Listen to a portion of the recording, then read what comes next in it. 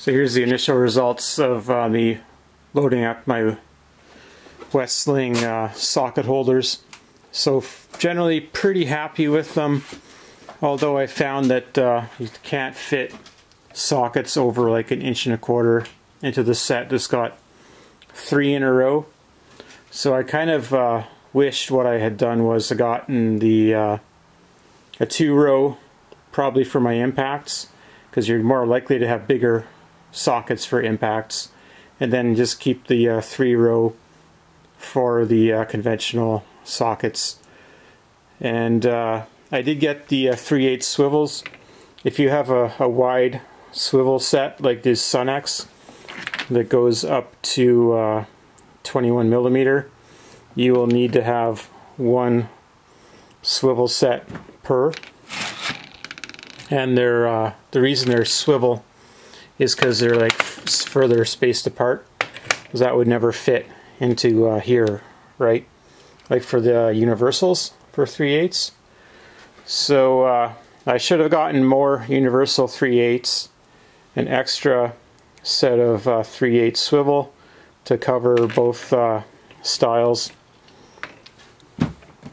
Aside from that you're going to find that there's certain set sizes you don't have like some sockets as cheat, they'll keep the 7 16ths and 11 joined, kind of like as replacements.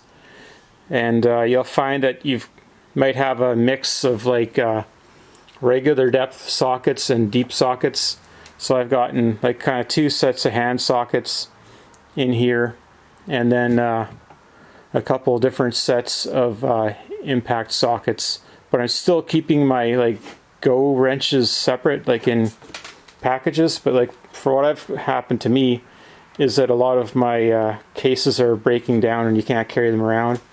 Then I've got some Sunex stuff. I have extras, so I kind of just pinched what I need needed out of here. And uh, you're gonna spend a lot of money. I'll just say that.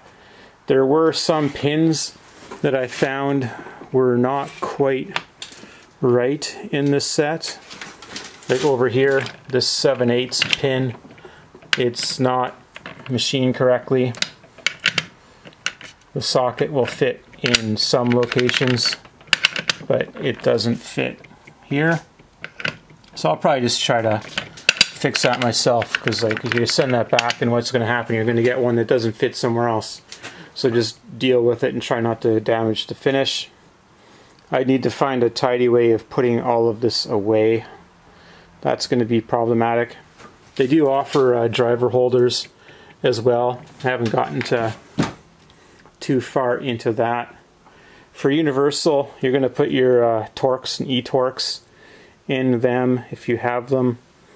I've got uh, like a five point utility socket here. You got some other stuff.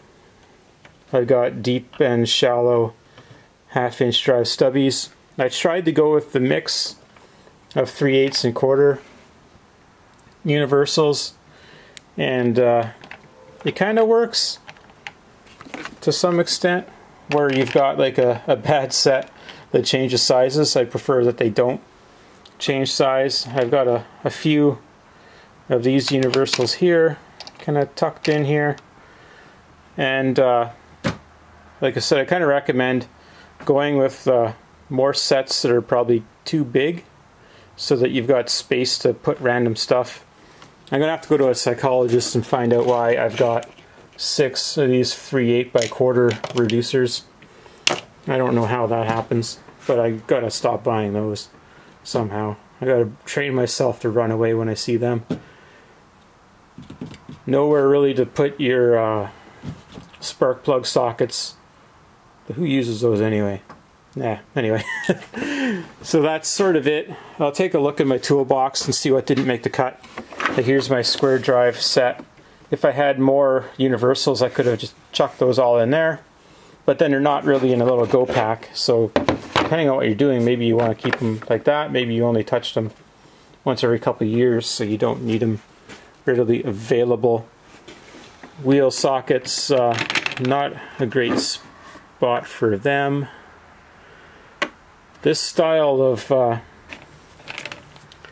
impact socket I would try to avoid. That's kind of lame the way they did that. They should neck them down kind of like these in my opinion. Take a look in here. So I've got all kinds of different sockets of various styles I've been trying to sort out. And then like I, for 12 point sockets, that's a whole other problem if you want to try to organize those because that's going to cost you a bunch of money for a socket you may never use. I got my various bit drivers in here. And what's in here. Alright, more wheel service.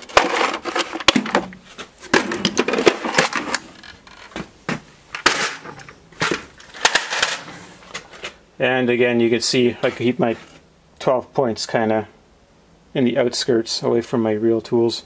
Uh, if you have a good ratchet, would you really need them? Eh, only if the fastener demands it. And then these might not be strong enough anyway. Then I'm getting into some of the more specialty sockets here. So your oil service sockets aren't going to fit very well. Or axle service sockets. And then these aren't really very big. It's like inch and a half. If you want, you can go to the jumbo size uh, trays that they offer.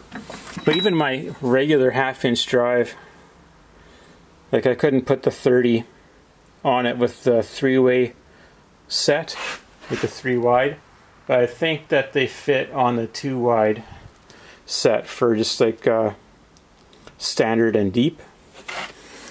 And if you want somewhere to put your O2 sockets, you probably have a couple of them because they're good for more than just O2 stuff. And uh,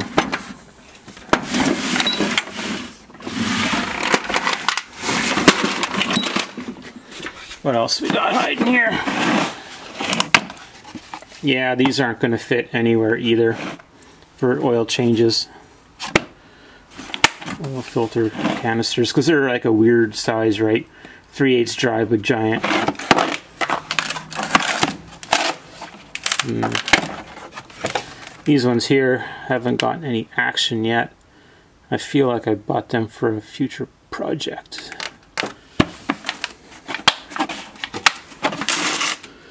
And then I'm keeping my uh, some of my trays for sockets because like I've got multiples of extra because I buy tools at pawn shops and liquidation of businesses and stuff so I end up with extras.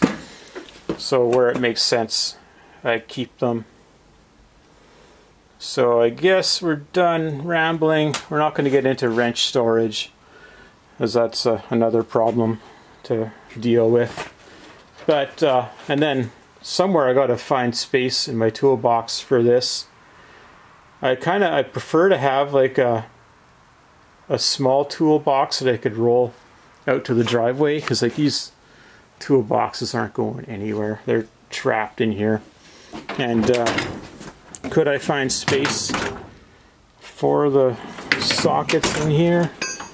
I've never had them in here before, so it's a, a bit of a problem. I do have some wasted space there for my pullers and brake tools and junk and then drills and taps in there. So, and I don't even have anything for three quarter inch drive for storage. I don't have a, a large quantity of those.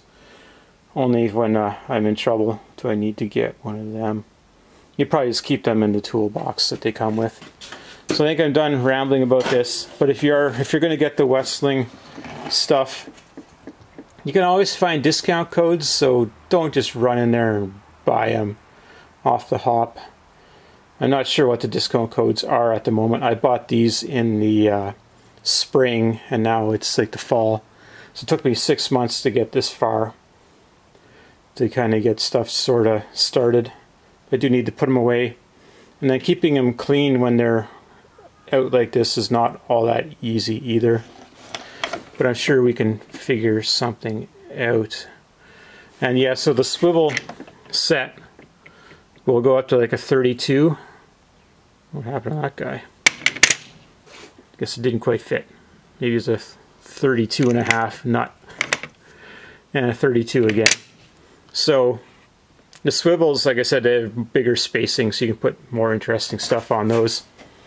At uh, the universals, they're all spaced equally, and then the uh, dimensioned positions are spaced according to what a common socket size might be. So uh, hopefully that's been useful for you. You see this socket here, it ain't fitting there very well. So uh, there will be some quality issues along the way as well. But thank you for watching.